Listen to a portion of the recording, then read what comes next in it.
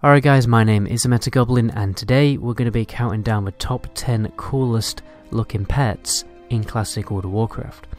So if you think about it guys, when most hunters get to level 60, they're just going to tame the highest level pet available to them to save the most, most amount of time and just go for the best pet that they can get without really looking into the other unique appearances out there. So if you want to stand out from the other hunters in your raid and, you know, by extent stand out on your server, having a cool pet appearance that really stands out is, well, it's going to make it stand out. So that's what we're going to be counting down in this video. If you think about it guys, you may have to level up a very low level pet but you know, just put a box set on and get get it done because it is going to be worth it because you're just going to look cool, right? Nothing better than looking cool. You don't have transmog in Classic World of Warcraft, so all you can really really can do is have a cool looking pet. So just before we jump in, guys, please do me give me a quick follow on Twitch, as when the game comes out, we'll be streaming a lot on Twitch. I'll also be streaming a bit of Lightbringer as well, Northdale uh, very soon. And, and I'll actually be streaming a little bit of Wrath Lich King raiding tonight, and hopefully in the future as well. But anyway, let's get on with the countdown. So the first pet I have for you is called Humar the Pride Lord, right? Which is a rare mob in the Barrens. This is a totally unique appearance, guys. There isn't an, any other black lion in the game other than this single rare mob, right? So it's just totally one of a kind, which, you know, is pretty cool. There's also white lions in the Barrens as well, which um, I can't remember the name of it, but I'll put it on the screen. You can also get the white lion as well, but I personally just thought that the white lion looked a bit cooler. For number two, we have the white scorpion. You've got a number of options basically for the white scorpion. You can get it quite early in the Thousand Needles from the Vile Sting mob. That's probably the first place you're going to see it. You've also got Clack the Reaver, which is a rare in the Blasted Lands, and you've also got the Stonelash Scorpion and the Stonelash Flayer in Silithus, which are a bit more higher level, so you can probably save a bit of time, you won't have to level it up. Um, yeah, I just think that this appearance of this one it's very metallic and silver, almost looks like a robotic scorpion, so that's why I put it on the list. For number three, we have a quick one, which is the Grey Raptor. Now, the Grey Raptor is pretty easy to obtain. Apparently, they're walking around the Wailing Caverns, but the reason why I put it on this list is because, is because I just don't remember ever seeing this this colour variation of the Raptor, which and it looks pretty cool. You know, it's a black kind of grey colour. You've also you can also get it from Tak the Leaper, which is a an elite quest in the Barrens, where it might be a bit more difficult to get that because people will, actually be killing that mob. So it's probably better to just go get it from the Wailing Caverns.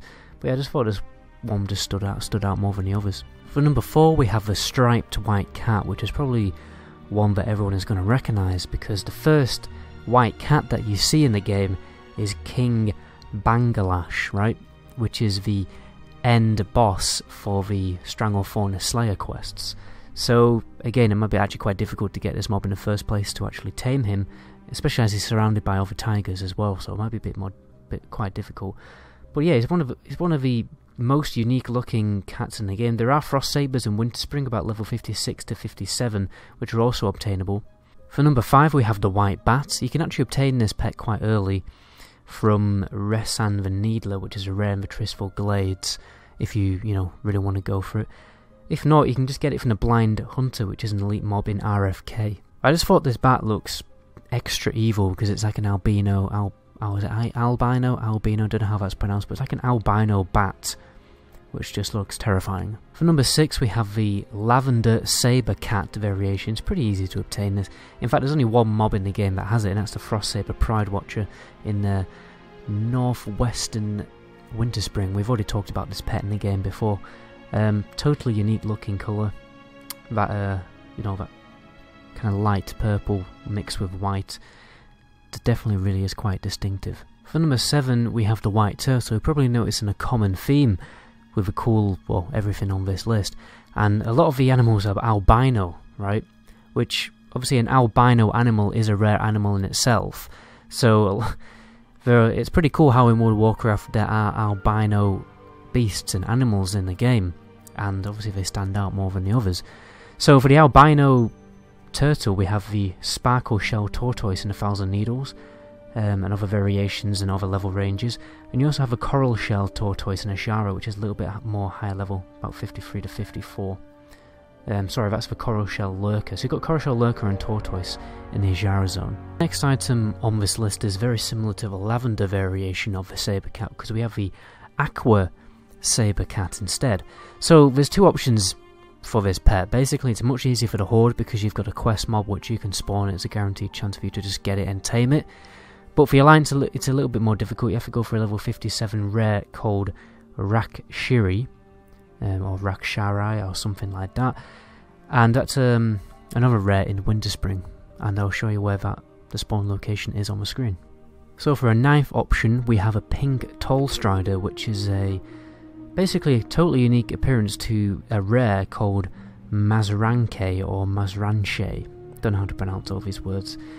And a lot. This has probably been talked about in other videos as well.